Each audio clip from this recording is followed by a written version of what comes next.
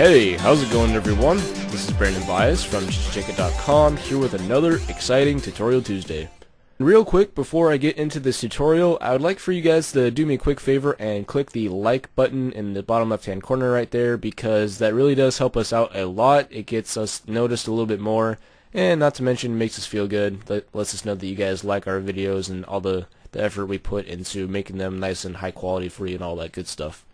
So today we're going to go over this galactic poster image right here and as you can see we just got some cool little clouds going on, some stars, some interesting highlights and stuff like that and overall it's just a pretty neat effect. Uh, I don't know what else you want me to say, it's, it looks like a freaking galaxy for crying out loud, that's pretty much all there is to it.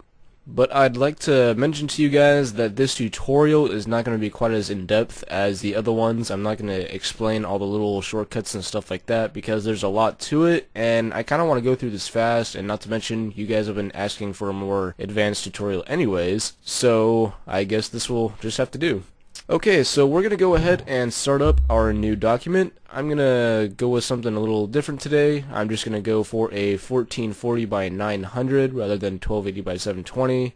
Whatever you do over there is okay. Just make sure you set to RGB and I guess transparent works for your background. Doesn't really matter. So we'll go ahead and hit OK and we'll size this up with control 0 so we can see what we're doing. And I'm just going to rename my first layer BG for background like always. I'm going to change my foreground color to 131313 for the RGB, which is just a really dark gray. And I'm going to fill up my background with that with Alt Backspace and put my foreground and background color back to the default black and white.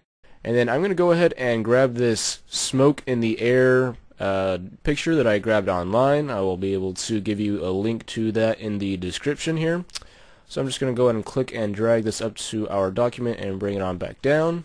And I'm just going to reposition this so that the top is flush with the top of the canvas. And I'm going to move it over so that this little swirl right here is just coming up from the bottom left hand corner. And so I'm going to rename this smoke and put it to a screen for the blend mode there. And then we're just going to change the opacity to 15%. And then we're going to go ahead and add in a little bit of coloring. So add in a new layer and call it coloring. And whatever colors you decide to use for the coloring is up to you, but I'm going to go ahead and stick with magenta, purple, and uh, and a cyan sort of color. And so let's go ahead and grab that color right there, that little cyan, and we'll just kind of put it in the top left hand corner. Grab our purple, put that in the bottom there, and grab our turquoise cyan color and put that in the top right. So that should be pretty good right there. We'll go ahead and set the blend mode of that to overlay. You can set that to something else like color or soft light if you so choose. Whoops, don't need a new layer just yet. We actually just need to duplicate the smoke copy. And we're going to put that above our coloring and set that to color dodge and put the opacity up to 20% rather than 15%.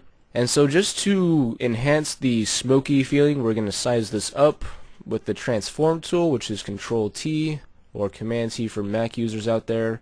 And I'm just going to size this up to 115% and zoom back in and reposition it so that the smoky area over here matches up a little bit better and then over here it just kind of gets a little bit more like smoky and just odd looking and stuff like that. So I will just uh, commit those transformations right there and we'll move on to adding in some clouds. So we'll add in a new layer called clouds and we're just going to go ahead and render some clouds in black and white like so and just change the blend mode to overlay and that's all there is for that. And so next, I'm just going to go ahead and take care of a little level, a little curves adjustment because everything is looking a little bit dark. So I'm going to amp up the curves a little bit by bringing in the middle up just a little bit right there, and then a little bit before and after. As you can see, it just kind of brightens everything up nicely for you right there. So we'll go ahead and add a new layer, and we're going to call it Distant Stars because this is going to be the layer for our distant stars in the background of the clouds and all that. So we'll go ahead and fill that in with black, and we'll add a noise filter to it right there. And so the amount is just going to be 10%, the distribution is going to be Gaussian, and we're going to make that monochromatic so that's all black and white and gray rather than have a bunch of random colors and all that. And I'm going to zoom in to 100% just so I can see the noise a little bit better, and I'm going to bring up the levels adjustment for that with Control L.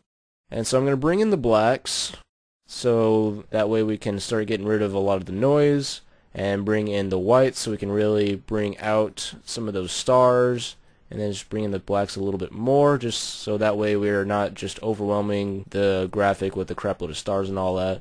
And so that's looking pretty good right there. We got 48 for our blacks and 141 for our whites right there. So we'll go ahead and hit OK and we'll call that good. And we're going to set the blend mode of that to screen. And then we're going to add in a layer mask on that and fill in that layer mask with some clouds. So that way it kind of has random sets of opacity and stuff like that all throughout. It kind of gives it a little bit more depth to it. And something that I just noticed about the clouds is that it's kind of uh, darkening up the little swirl right here. So I'm going to go back to my clouds layer and add a layer mask to it. And I'm going to bring in my brush and just kind of paint it in black right there so we can get rid of those clouds. That way we know that's there and there's no clouds in the way and so now that we've got our distant stars and everything else in place, we're going to go ahead and add in our text. I'm going to go ahead and use the Devil Breeze font that I used in the last tutorial. I will give you the link for that again. And I'm using the Demi style with a 100 point font and this little AA thing is set to crisp. So I'm just going to go ahead and type in ch ch check it and the C's and I think I accidentally capitalized the H but it looks good anyway so no big deal. I'll just kind of position that somewhere over here a little bit. And then I'll type in productions with a capital P and a capital R, again, just because it looks cool. And so I'm just going to go ahead and make this K and U match up a little bit right there. That way it know, just kind of looks kind of interesting just as it is.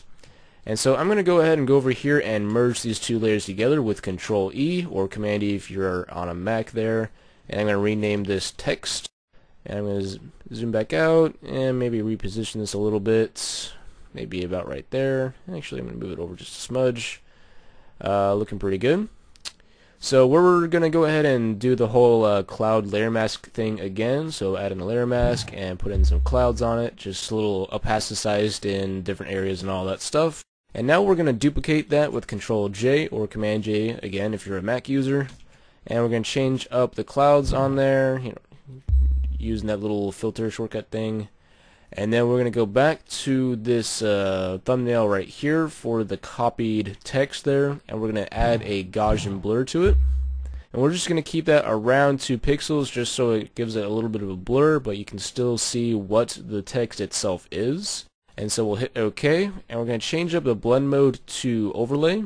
And so now if we zoom in on the text right here, you should see that it's kind of see-through in places, a little darker in others, and just overall just kind of blends pretty nicely. And next up we're going to go ahead and add in some more stars into the image right here. So we'll go ahead and add in a new layer and we'll just call it stars.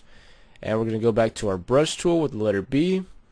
And I'm going to swap over to this set of star brushes by Demosthene or however the crap you pronounce that name right there.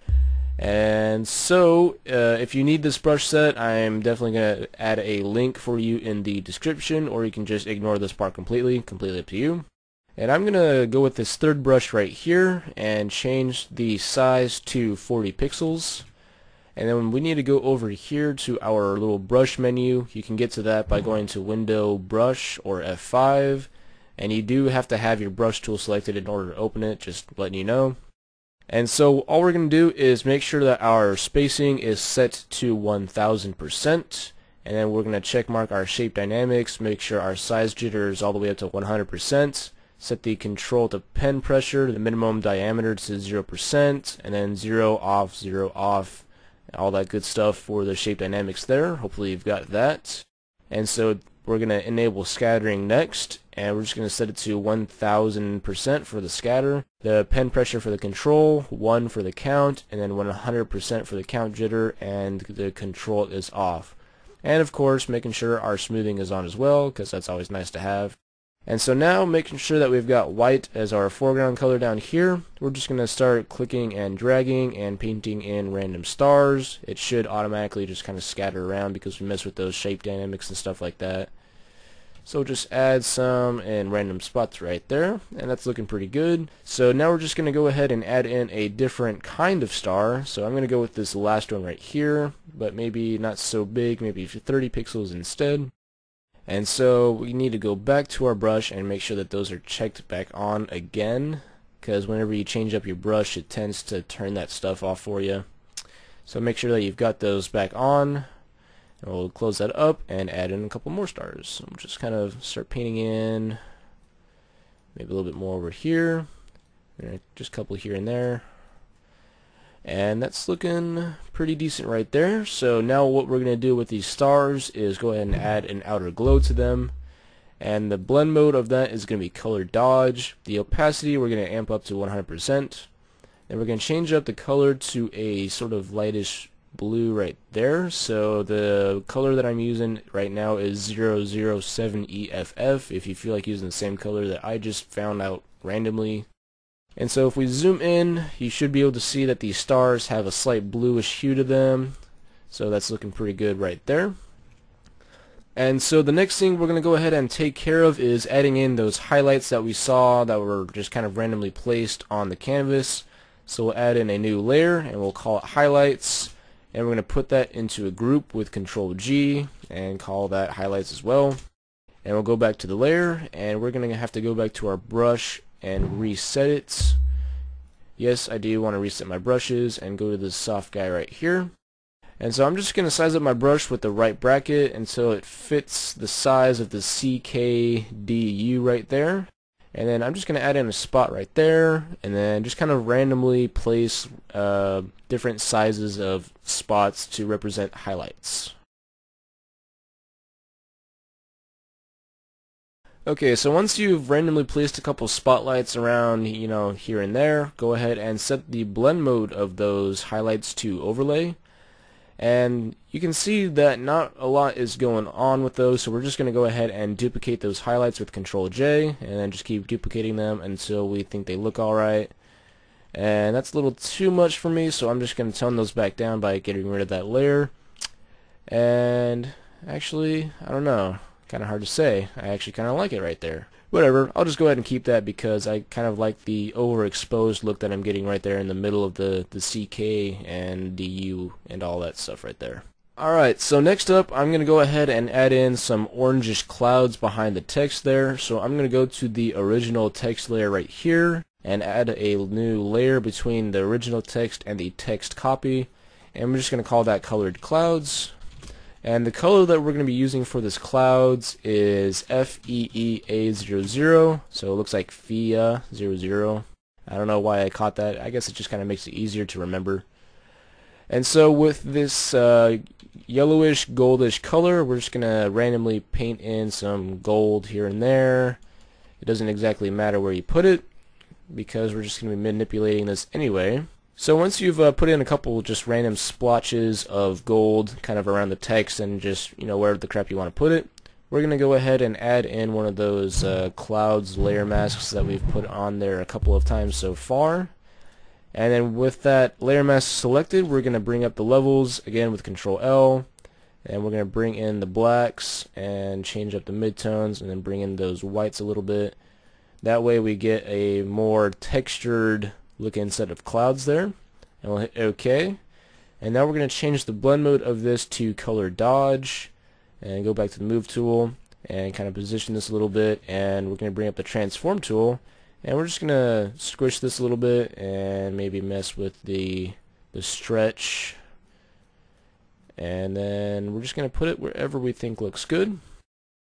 So right there looks pretty interesting but uh, for some reason it kind of looks a little faded out so I'm going to duplicate this and set it to overlay.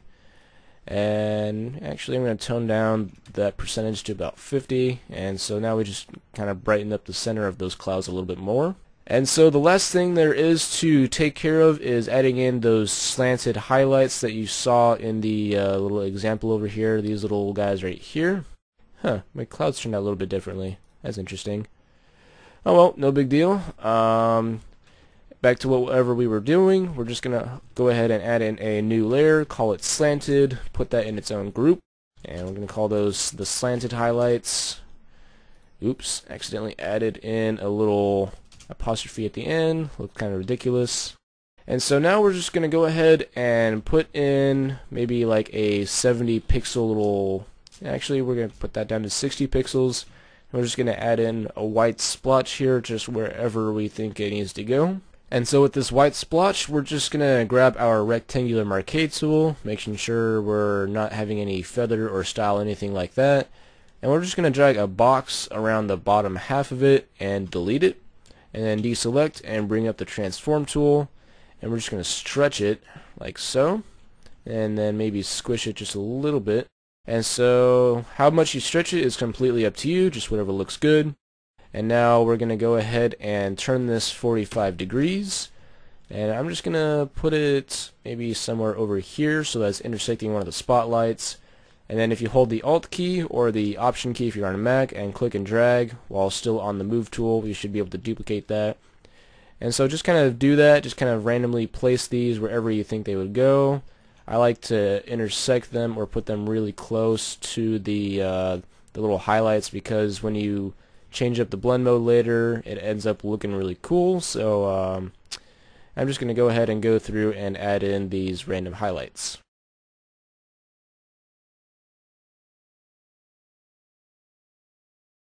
Okay, so that looks like enough highlights to me. I might have accidentally overdone it a little bit, but eh, no big deal. So we're just going to go ahead and merge all of these together and we're going to change the blend mode of all those to overlay and we'll just duplicate them maybe three times or so. And that's looking uh, pretty good. So let's take a look. Alright so that turned out pretty fantastic. Um, thank you for watching this tutorial. I hope you were able to get something out of it. It was uh, definitely a lot of fun learning how to do this myself and then being able to teach you guys this uh, is, is actually pretty cool. I'm, I'm hoping you guys like it. Um, and speaking of like it, you guys should like this video because I put a good amount of time and effort into making this tutorial and all of our other tutorials. And if you have any questions, just go ahead and send me a message here on YouTube, or you can join our Facebook fan page. A link will be in the description, and there you'll be able to, you know, talk with all the other people that like Photoshop, and maybe you can learn some new tricks and all that. So once again guys, thank you for watching. Hope you learned something new. I will see you next time.